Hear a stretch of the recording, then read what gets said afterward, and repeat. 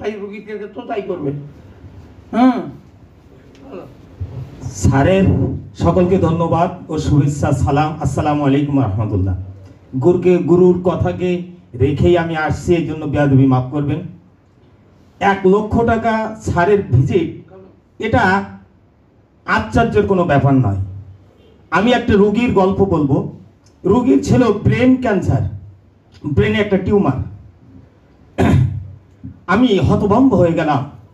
তাকে পাঁচ লক্ষ টাকা চেয়েছিল নিউরো সার্জারিরা আমার একটি সাইকেল, দ্বিতীয় সাইকেল, তৃতীয় সাইকেল, চতুর্থ সাইকেলে সেই টিউমার আর খুঁজে পাওয়া যায় নাই।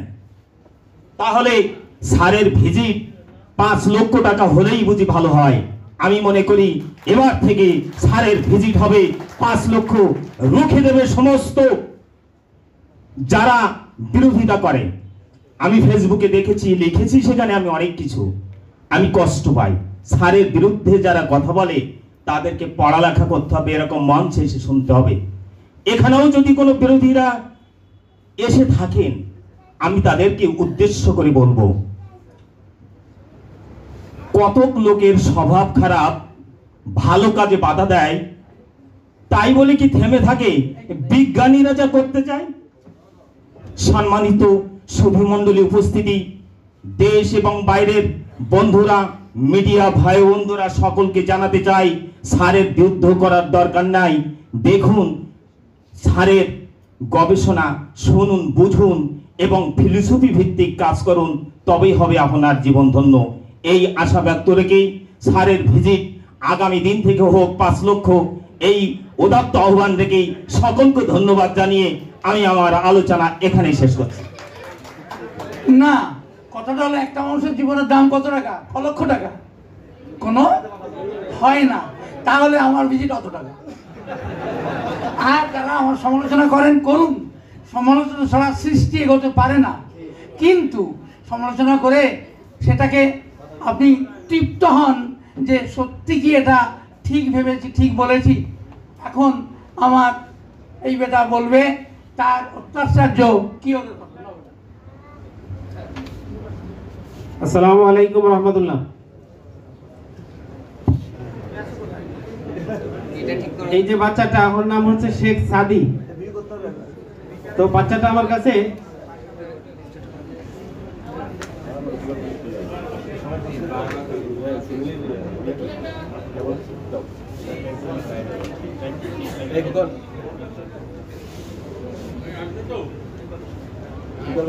আমার কাছে প্রথম আসা হচ্ছে বারো এক দুই মানে দুই হাজার একুশ সালের জানুয়ারি মাসের বারো তারিখ। আমি এই বাচ্চা সম্পর্কে তেমন কিছু বলব না, বাচ্চার বাবাই বলবেন যে বাচ্চা কোন অবস্থায় আমার কাছে নিয়ে আসেন এবং আমাদের গোব্যাক্সিন প্রসিডিউর মানে মেনে প্রথম ওষুধ দেওয়া হয়, এরপর থেকে ধীরে ধীরে বাচ্চাটা কীভাবে ডেভেলপ করে, তারপর আমি বিষয়টা বলব। আসসালামু আলাইকুম রহমতুল্লাহ বরাকাত সম্মানিত উপস্থিতি, আমার নাম মোহাম্মদ সাইফুল ইসলাম, বাড়ি হলো খুলনা, সাভার এক মাদ্রাসায় চাকরি করি। তো এই বাচ্চাকে নিয়ে এসেছি মূলত মাদ্রাসায় পড়ানোর জন্য। যখন নিয়ে এসেছি, আজ থেকে গত তিন বছর আগে। দুপুরের দিকে ঘরের জানালা দিয়ে বাহিরে তাকাইছে, কি যেন দেখেছে আল্লাহ ভালো জানেন। তারপর থেকে এমন ভয় পেয়েছে, যেটা অকল্পনীয়, যেটা বর্ণনা করতে পারব না আমি। তাই মনে হয় যেন সাপ, কুমির অথবা কুকুরে তাড়ালে যে অবস্থা হয়, সেই অবস্থায় করতো সবসময়ের জন্য। তো এই জন্য আমি এলোপ্যাথি ডাক্তার যতগুলো আছে মোটামুটিভাবে যেরকম সিএমএস দেখাইছি, তারা ওখান থেকে বলেছেন যে এটা অটিজম। এটা কখনো ভালো হওয়ার নয়। এ বাচ্চা কখনো কথা বলেনি। আমি বলছি, স্যার, এটা কথা বলছে, আমি পড়ানোর জন্যই নিয়ে এসেছি ঢাকায়। তা বলে যে, আপনি কি স্বপ্নের কথা বলতেছেন? ওখান থেকে ফিরে আসছি। তারপর আমি গিয়েছি নিউরো সায়েন্স তারা এখানে সারা শরীরের চেক আপ করেছে, মাথা দেখেছে। তো তারাও বলছে যে না বাচ্চা সুস্থ, কিন্তু এটা ভালো হওয়ার নয়, কখনো ভালো হবে না। তারপরে আবার পিজি হাসপাতালে গিয়েছি, ওখান থেকে ট্রিটমেন্ট নেওয়ার জন্য। সেখান থেকে তারা বলেছে, না, এটা বাচ্চা ভালো হবে না। হতাশ হয়ে গেল জবান দুইবার করে বন্ধ হয়ে গেল। কথা বলছে না বাচ্চা। কানে শুনছে না, সবসময় কান এইভাবে আটকায় রাখে সবসময়ের জন্য। এমনকি শরীরে যে পোশাকটা আছে, নিজে হাতে বটি দিয়ে কাছে থাকতো, উলঙ্গ থাকতো, প্রস্রাব এখানে বিছানার মধ্যেই করতে থাকতো, কোনো খাবার খেত না, শুধু কান্না করতো। হতাশ হয়ে গেলাম তাহলে বাচ্চা কি ভালো হবে না? এটা অটিজম হয়ে গেল?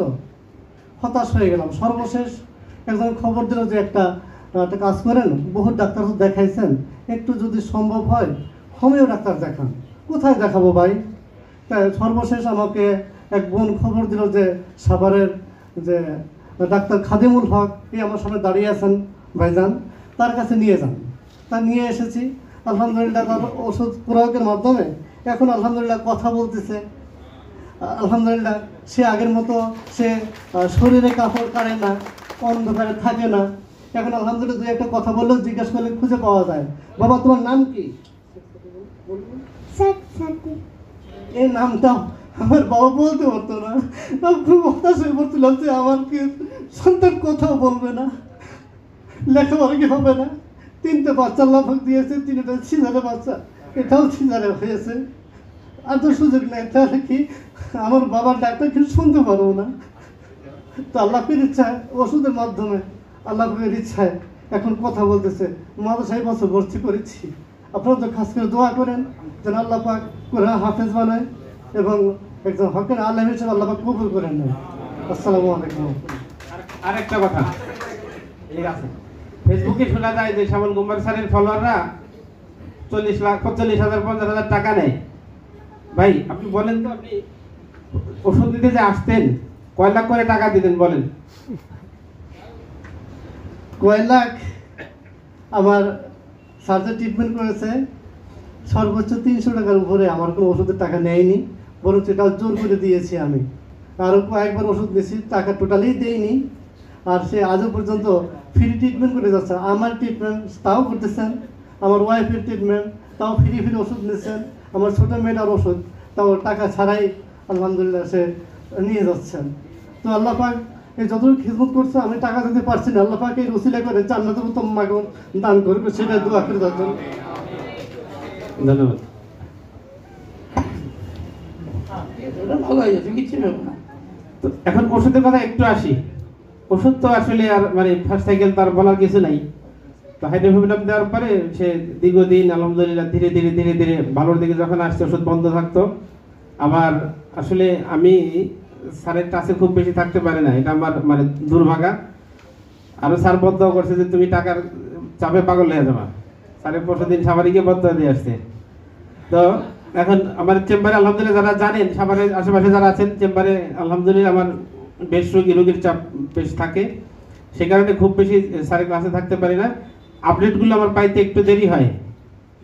তো তারপরেও আমি ওই ওষুধ দিতাম ইয়ে করি মানে যতটুকু পারতাম ধরে রেখে।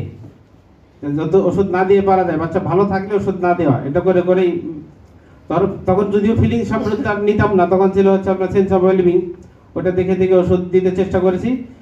তো এর মধ্যে যেটি ঘটনা ঘটেছে, এর একবার হচ্ছে প্রচণ্ড জ্বর হয়েছে, সে তখন ইতে খুলনাতে। তো কোনো ওষুধ দেওয়া নাই। আলহামদুলিল্লাহ জ্বরটা কোনো ওষুধ দেওয়া লাগে নাই, চলে গেছে। আরেকবার হচ্ছে পায়ে পেরেক ঢুকেছে। পায়ের ভিতরে অনেকখানি ঢুকে গেছে, তারা তো সবাই ভয় পেয়ে গেছে। বাচ্চার মা অনেক স্ট্রিক্ট প্রিন্সিপালের লোক, সে বলছে, না, আমার স্যারে বলছে কোনো ওষুধ না খাওয়াতে আমার বাচ্চা এত বড় উন্নতি যেখানে হয়েছে, আমি অন্য কোনো ওষুধ খাওয়াবো না তাকে না জানিয়ে। এই এটা মানে আপনার এটিএস দিতে হবে, এটা করতে হবে, সেটা করতে হবে, সেলাই দিতে হবে, কিচ্ছু উনি করেননি। আমাকে জানানোর পরে তখন বাচ্চার চলে সম্ভবত সরিনাম ক্যাটালাইজ হিসেবে ফার্স্ট সেকেন্ডের ক্যাটালাইজ হিসেবে সরিনাম ফিফটিন চলতেছিল। তো দুর্ভাগ্যবশত অন্য কোনো ওষুধ তাকে দেয়া ছিল না। পরবর্তী পর্যায়ে ছিল, ওই ওইটা যে এক ডোজ খেয়ে রেখে দিছে, ওই ওষুধটা তার কাছে ছিল। তখন মানে আসলে একটা অধিকার কিন্তু স্যার আমাদেরকে দিয়ে রেখেছেন। অনেক আগের কথা যে এখনকার কথা যে, তোমার রুগী মানে তুমি হ্যান্ডেল করতে পারো সিচুয়েশন দেখে। এটা কিন্তু আসলে করতেই হয়। কারণ, স্যারকে অনুকরণ করা যাবে না, অনুসরণ করা যাবে। স্যার যেভাবে করছেন, স্যারের রুগী আর আমার রুগী তো এক না। এটা সবসময় নাই হতে পারে। তখন বাধ্য হয়ে মানে একটু মানে আমার নিজের আইকিউ দিয়ে আমি চিন্তা করলাম যে ঝাঁকিটা একটু বাড়িয়ে দিই। ঝাঁকিটা একটু বাড়িয়ে দিলে যদি হয় যে না, পনেরো থেকে একটু বেড়ে আগে গেছে, এই আশায় ঝাঁকিটা একটু বাড়িয়ে দিয়ে ওই ওষুধটা একটা ডোজ দেওয়ার পরে বাচ্চার বাবার মুখ থেকে কথাটা শোনার সুযোগ হলো না উনি চলে গেল। ওই পেরেক যে ঢুকেছিল, এত বড় ওইখানে ক্ষত হয়েছে, কিছু নাই, আলহামদুলিল্লাহ রিপেয়ার হয়ে গেছে। আমাদের ওষুধ কেন বেশি লাগবে? আপনি ওষুধ দেন আসিলের জন্য ধরুন থুজা চলে। ওই লোক হঠাৎ করে এসিতে বেড়ে ঠান্ডা লাগল, তো গরম ঠান্ডা মিলিয়ে ঠান্ডা, ডালকা মারা। তারপর ওই লোক আপনার সিঁড়িতে নামার সময় পায়ে হোসট সন্ধ্যার সময় ওনাকে দিলেন হচ্ছে আর্নিকা। তারপর রাতে উনি দেখলেন হচ্ছে আপনার খিচুড়ি খেয়ে হচ্ছে পেট খারাপ পালসিটিলা তো দিনের মধ্যে তো আপনার ওষুধ চারটা লাগবে ভাই। ওষুধ সংখ্যা বেশি আসলেই লাগে, কথা তো মিথ্যা না। কিন্তু আমাদের স্যারের তো এক ওষুধে অনেক কাজ করে দেয়। যদি আমরা গোব্যাক থ্রি প্রসিডিওর মেনে ওষুধ দিই। এটা এই পর্যন্ত ওইটা কি রেডি হয়েছে ওটা হবে না। তুমি বলবে মুখে বলবে। ও একটা কথা বলেছে না যে খুব জ্বর হয়েছিল কাছে কোনো ওষুধ ছিল না। ছিল না বলেই ভালো হলো। যা কিছু হোক চব্বিশ ঘণ্টা অপেক্ষা করবেন। যদি অপেক্ষা করবার সুযোগ থাকে তা রুগী মার মরে যায়। আমি হসপিটাল নিয়ে গেছিলাম ফিরিয়ে দিয়েছে। ওষুধ তো দিতেই হবে। কিন্তু যেটা অপেক্ষা করা যাচ্ছে, বিশেষ করে জ্বর, মাথায় জল দিন, বরফ দিন, চব্বিশ ঘণ্টা অপেক্ষা করুন, এমনি এমনি চলে যাবে। তবে হ্যাঁ রুগীর গার্জিয়ানের কারণে ফাইটাম খাওয়াতে হবে, ওই রুগীকেও বাপ মাকেও তাহলে বাপ মা বলে, আমরা কেন খাব? আমরা যে ভয় হচ্ছে। বেটা, তুমি ওইটা নিজের মুখে বলো না। তোমার কথা সবাই বিশ্বাস করে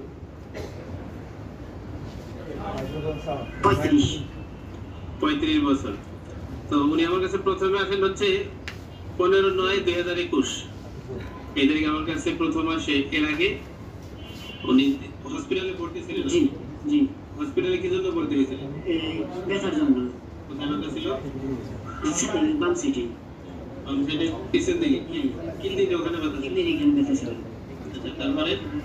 তারপরে হলো ব্যথা ছিল বমি হইতো এমনি অনেক সমস্যা বোধ করতাম পরে একদিন আমার চাচার সাথে কথা বলার পরে সে আপনার কাছে নিয়ে আসছে। তাহলে আমি প্রথমে যখন আসেন এখানে লেখা ছিল যে আপনি ওই প্রস্রাবে জ্বালা পড়া ছিল আপনার। তারপর হচ্ছে ওই কিডনির ওখানে ব্যথা ছিল কাশি ছিল আর বমি হয়ে যেত ব্যথা। যখন অনেক ব্যথা হতো ব্যথার কারণে বমি হতো। আচ্ছা তো ওষুধ খাওয়ার পরে কেমন ছিলেন? ওষুধ খাওয়ার পরে কিছুদিন একটু বোধ করছি এখন আল্লাহর রহমতে একটু সুস্থ বোধ করতেছি। এখানে আসলেন? ওষুধ খাওয়ার পরে কি ব্যথা আরাম পেয়েছিলেন হ্যাঁ একটু আরাম পেয়েছিলাম আচ্ছা আসলে এখানে ব্যথা তো ওষুধ খেলে কমতেই পারে এটা নিয়ে খুব বড় কোনো বিষয় না। আসলে আজকে আমরা যে জিনিসটা দেখাতে চাই সেটা হচ্ছে ওনার এই গত কবে আপনার এই পাথর বেরোলো কবে? এটা হলো শুক্রবার দিন। গত শুক্রবার। গত শুক্রবার দিন। শুক্রবারে কয় তারিখ ছিল? তখন ছিল হলো বারো তারিখ। শুক্রবার বারো তারিখ ছিল শুক্রবার। তো গত বারো এগারো দুই হাজার একুশ এই তারিখে ওনার প্রসাবের রাস্তা দিয়ে যে এই পাথরটি বের হয়েছে।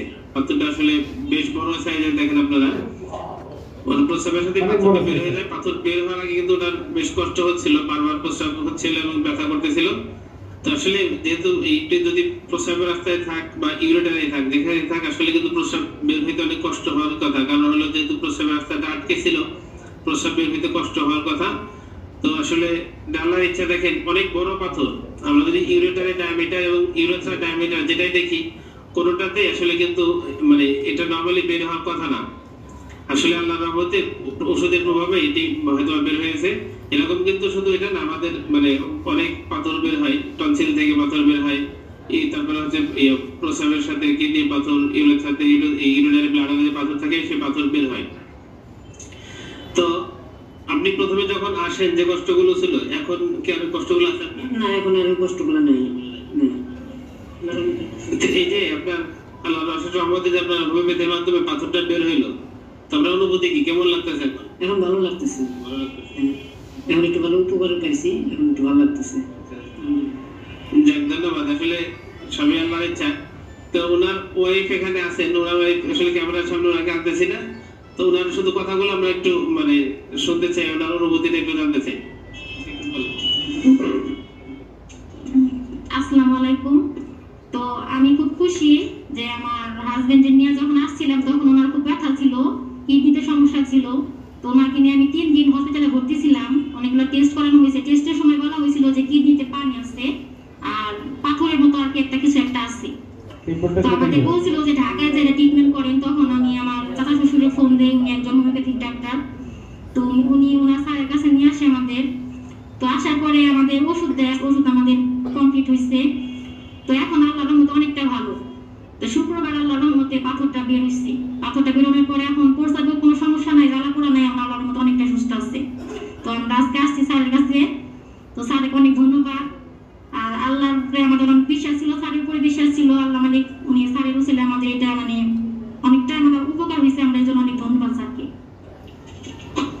জি ধন্যবাদ আসলে দেখে প্রথমে যে ইয়েতে আসছিল ওনার যে রিপোর্ট ছিল হাইড্রোডেফ্রাসিস ছিল তো পাথরটা একটু শ্যাডোর মধ্যে দেখা যাচ্ছে ক্লিয়ার কাট খুব বোঝা যাচ্ছিল না কিন্তু কারণ হলো পানি অনেক পানি থাকার কারণে পাথরটা খুব ভালো হয়তো বোঝা যাচ্ছে- যাচ্ছিল না তো পানিটা ওনার হয়তো তারপর যখন কমে গেছে আর এবং প্রস্রাব যখন ভালো মতো হতে লাগল এর আগে পানিটা তো বের হয়ে গেছে এরপরে আল্লাহ রহমতে পাথরটা বের হয়ে গেছে তো আসলে এটা দেখার উদ্দেশ্য যে হোমিওপ্যাথিক ওষুধে বিনা অপারেশনে অনেক এরকম ভালো ভালো অনেক জটিল জটিল রোগ আল্লাহ ভালো করে তো এই জিনিসটা আপনাদেরকে দেখানোর চেষ্টা করলাম পরে নর্মাল স্টাইল পরে রিপোর্টটা গেছে হ্যাঁ ওর কিডনির পানি চলে গেছে এবং পাথর বের হয়ে গেছে এখন আলহামদুলিল্লাহ সুস্থ।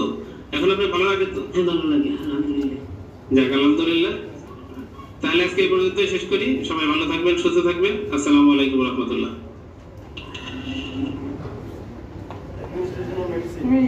জি মেডিসিন তো ভরসা গেলে হাইড্রোফেরন দিয়ে শুরু করি। তারপরে ওনার আমি মানে আগ- তখনকার কথা বলছি। আমার তো- তখনকার মানে যে জ্ঞান সেই গান অনুযায়ী সেন্স অফ ওয়েলবিং দেখে দেখে প্রথমে হচ্ছে ফিফটিন পরে জিরো বাই এইটিন এইখানে যখন আসি, হঠাৎ করে একদিন ওনার প্রচণ্ড কষ্ট শুরু হয়। প্রচণ্ড কষ্ট শুরু হয় বারবার প্রস্রাব হচ্ছে প্রস্রাব অল্প অল্প হচ্ছে, আপনার ওই ফোটা ফোটা প্রস্রাব হচ্ছে প্রচণ্ড জ্বালা পোড়া প্রচণ্ড ডিজিউরিয়া মানে প্রস্রাবের ব্যথা। আমাকে ফোন করা হলো আমি যেটি করি সেটি হচ্ছে হাইড্রোফেমিনাম প্রথম যখন সি ইম্পর্টেন্সি দিই, আমি তখন ইয়াটা জিরো থ্রিটার সাথে দিয়ে রাখি। অথবা টু হান্ড্রেড দিয়ে রাখি। তখন জিরো থ্রি দিয়ে রাখতাম। এখন তো টু হান্ড্রেড তো আমি এখান থেকে একটা অভিজ্ঞতা আপনাদের সাথে শেয়ার করব। কষ্ট বেড়ে যাওয়ার কারণে আমি যেটি করলাম, সেটি হচ্ছে জিরো থ্রি দিলাম। জিরো থ্রি একবার খাওয়ার কিছুক্ষণ পরেই ওরা পাথরটি বের হয়ে গেছে, আলহামদুলিল্লাহ। এখানে আমার যেটা অভিজ্ঞতা, শুধু একটা বিষয় না লো পটেন্সি অফ হাইড্রোভোবিয়াম শেয়ার অভিজ্ঞতাটা এটার একটা আপনার ফিজিওলজিক্যাল অ্যাকশন সেটা হচ্ছে এটা ডাইলিটেশন করতে পারে। ইন্টারনাল কোনো আপনার ফরেন বডি বডি বলেন, বা আপনার যদি বাচ্চা প্রসবের সময়, আপনারা দিয়ে দেখেন যদি আমার মানে এই পর্যন্ত অ্যানালাইসিস যদি নর্মাল ডেলিভারির কোনো ওষুধ পৃথিবীতে থেকে থাকে, সেটা হচ্ছে হাইড্রোভোবিনাম জিরো টু। আপনি দিবেন যদি প্রসেসটা এগিয়ে গেছে মানে এখন বাচ্চা প্রসবের, ইয়া, পরিস্থিতি তৈরি হয়ে গেছে হাইপোটেন্সি আপনি আগে দিলেন, প্রথম রুগী হোক অথবা আগের চলা রুগী হোক, আপনি যে সাইকেলে থাকেন, সেটিতে যদি না হয়, এটা স্যার, আমি জানি না ভুল করতেছি কিনা, যে সাইকেলে আপনি ছিলেন, সেই সাইকেলে যদি না হয়, আমি যেটি করি, অন্য সাইকেল বাদ দিয়ে নেক্সট সাইকেলে না গিয়ে হাইড্রোভোমিনামে আসি। হাইড্রোভোমিনাম হাইপোটেন্সি দেওয়ার পরে যদি দেখি যে না আর অ্যাডভান্স হচ্ছে না, তখন জিরো টু দিলে আলহামদুলিল্লাহ পর্যন্ত ফেল করতে হয় নাই। নর্মাল ডেলিভারির জন্য আমার মনে হয় যে শুধুমাত্র হাইড্রোভোমিনাম যদি আপনার কাছে থাকে, আপনি নর্মাল ডেলিভারি সেন্টার খুলতে পারবেন। ইনশাল্লাহ ফেল হবে না। একটা। আরেকটা হচ্ছে যে কোনো বডি থেকে ফরেন বডি যে কোনো ইন্টারনাল মানে অর্গান থেকে ফরেন বডি বের করা। আমার আরেকটা কেস আছে, এটা হচ্ছে আপনার টনসিল থেকে অনেক বড় স্টোন বের হয়েছে। তো এগুলো হচ্ছে আপনার হাইড্রোভেমিনামের অ্যাকশন আর ফোড়া ফাটানো। যেটি বললাম যে আপনার ফরেন বডি বের করা বলেন ইন্টারনাল ডেব্রিস বের করা বলেন। হাইপোটেন্সি দিবেন হাইপোটেন্সি না দিয়ে জিরো টু দেওয়ার অভিজ্ঞতাটা একটু খারাপ।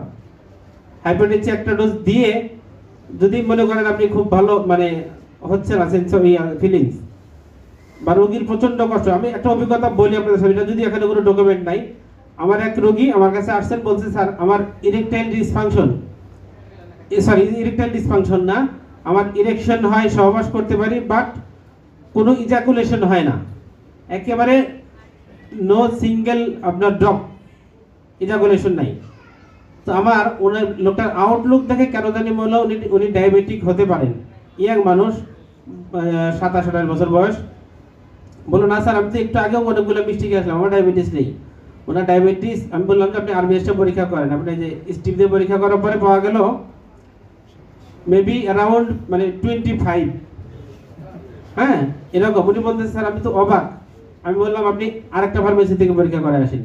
দুই জায়গা থেকে খুব কাছাকাছি রেজাল্ট পাওয়ার পরে এখন কিন্তু উনি মানে ওই যে আনহ্যাপিনেসে ভোগা শুরু করলেন। বলে, স্যার, এই জন্য তো আমার দুর্বল লাগতেছে, এই জন্য তো আমার খারাপ লাগতেছে। অথচ এই লোক একটু আগে মিষ্টি খেয়ে আসছে। খারাপ সংবাদ শোনার পর থেকে উনি এখন আনিজি। পরে দেখ আমি ওনাকে আশ্বস্ত করলাম, ওষুধ দেওয়া হলো হাইড্রোপোভিনাম সিএম। এক ডোজ দিয়ে পাঠিয়ে দিলাম, ওনাকে আমি কিছু ম্যানেজমেন্ট দিই ডায়াবেটিস রোগীদের। তো সেটা মানে স্বাস্থ্যবিধি যেগুলো, ওগুলো মানার জন্য দিয়ে ওটা ওটাই করতে শুরু করলেন। তারপরে বাড়ির লোক ওনাকে জোর করে হসপিটালে নিয়ে যাবে। উনি যে রেফারেন্স পেয়ে আমার কাছে আসছেন, ওই রেফারেন্স ওনার কাছে খুব মানে আশ্বস্ত রেফারেন্স পেয়ে উনি হসপিটালে যাবেন না। উনি বলতেছে, আমার বাবাকে তো আমি ডায়াবেটিসে ভুগতে ভুগতে দেখি, এখন ওনার অনেকগুলো ওষুধ খেতে হয়। আমি হসপিটালে যাব না, দেখি আমি এই পথে একটু হেঁটে দেখি। তো উনি ওষুধ খাওয়ার পরে একটু খেয়াল করেন। ওষুধ খাওয়ার পরে মনে হয় ওই দিন ওই দিন ওয়ান উইক ওনার পায়ে একটা ফোড়া বের হলো। আপনার যে পিছনে কাপ মাসেলে এত বড় ফোড়া বের হয়েছে এখন বাড়ির লোকে ওনাকে একেবারে পারলে হাত পা বেঁধে হসপিটালে নিয়ে যাবে। যদি তোমার এই ফুরা ফাটে, পঁচিশ ডায়াবেটিস তুমি এটা নিশ্চিত এটা পা পচে যাবে ডায়াবেটিক ফুড এটা পা কেটে ফেলতে হবে। তুমি কোনোভাবে তোমাকে বাসায় রাখা যাবে না ডায়াবেটিস কমাইতে হবে। ভদ্রলোক আমাকে ফোন করলেন। স্যার, এই অবস্থা, বাড়ির লোকের উৎপাদন তো আর পারি না, এখন কি করতে পারি? আমি বললাম যে, আল্লাহর উপর ভরসা রাখেন, আমার কাছে একটু আসেন। আসার পরে তখন জানি না ঠিক হয়েছে কিনা, আল্লাহ ভালো জানেন। আমি চিন্তা করলাম যে ওনার প্রচণ্ড কষ্ট হচ্ছে প্রচণ্ড ব্যথা। উনি মানে হাঁটা বন্ধ হয়ে গেছে। প্রতিদিন সকালে যে দৌড়াবে এক্সারসাইজ করবে ডায়াবেটিসের মানে জন্য এটা ওনার বন্ধ হয়ে গেছে পেনের কারণে। আমি ওষুধ দিলাম হাইড্রোভিনাম জিরো টু দেওয়ার পরে ফোড়া ফেটে গেল। ফোড়া ফাটার পরে ফোড়ার যে বিভৎস চেহারা, এটা দেখে বাড়ির লোক ওনাকে ছাড়বেই না হসপিটালে নিবেই। লাগলে ওটা মানে ওখান থেকে হলো ড্রেসিং ড্রেসিং করে কেটে টেটে কীভাবে এটাকে শোকানোর ব্যবস্থা করা যায়, সেই ব্যবস্থা করবে। আমি বললাম, ভাই, থাকেন। আমাকে দুইটা দিন দেন, বাকিটা আল্লাহর ইচ্ছা। দুই দিন লাগে নাই, ওনার বাড়ির লোকের মানে মত চেঞ্জ হইতে। যেদিন ফোড়া ফাটলো তারপরের দিন থেকেই মানে যখন ঘা শুকে আসা শুরু হলো ছোট হয়ে যাওয়া শুরু করল, একদম ক্লিয়ার হয়ে গেছে, ভিতরে কোনো প্রকার ডেব্রিজ নেই ময়লা আবর্জনা নাই। তারপর আস্তে আস্তে আস্তে আস্তে ওটা শুকিয়ে গেল। আলহামদুলিল্লাহ, ওনার এখন মানে কোনো ওষুধ খেতে হয় না ডায়াবেটিসের মানে আরও বড় আলহামদুলিল্লাহ, উনি আমার কাছে আর আসে না। ওনাকে ওনাকে আমি অন্য মানে পটেন্সি চালাবো ওনার মানে নেক্সট সাইকেল মেনটেন করার জন্য, সেটা উনি আসে না। ওনার এখন কোনো ডায়াবেটিস নেই। উনি হচ্ছে এখন আরবিএস নর্মাল এফবিএস নর্মাল আপনার গ্লুকোজ ইনটেক নর্মাল এইচবিএনসি নর্মাল ডিয়ার ভিউয়ার্স আপনারা যারা আমাদের এই ভিডিওটি ফেসবুক পেজ থেকে দেখছেন, তারা অবশ্যই ফেসবুক পেজটি ফলো করবেন এবং একটা লাইক দিবেন। এবং আপনাদের এই ভিডিওটি ভালো লাগলে অবশ্যই আপনার মূল্যবান মতামতটি কমেন্ট বক্সে রেখে যাবেন। আর যারা আমাদের এই ভিডিওটি ইউটিউব থেকে দেখছেন, তারা অবশ্যই চ্যানেলটি সাবস্ক্রাইব করে পাশে থাকা বেল আইকনটি বাজিয়ে দেবেন এবং শেয়ার করে আপনার বন্ধুদেরও জানার সুযোগ করে দিবেন। আজ বিদায় নিচ্ছি, ভালো থাকবেন